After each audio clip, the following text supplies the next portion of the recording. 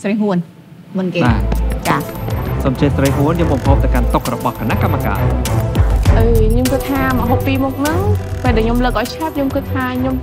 រំពឹងថាឆាប់នឹងពេញចិត្តនឹងមុខហូបពីរមុខហ្នឹងស្រីហួនមកហូបមួយមុខនេះឈ្មោះអ្វីអឺមកហូបនេះគេហៅថាអឺមិនកាត់សឹកមិនកសឹកចាចាបើនិយាយយើងបកប្រែមក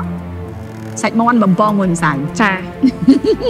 ភាសាជប៉ុនចាភាសាជប៉ុនណាអូ ខេចាដោយសារស្រីហ៊ុនធ្វើការនៅក្នុងភោជនីយដ្ឋានជប៉ុនអូខេមួយមុខទៀតនេះមុខនេះមានឈ្មោះថាតុងញ៉ាំមឹកតុងញ៉ាំមឹក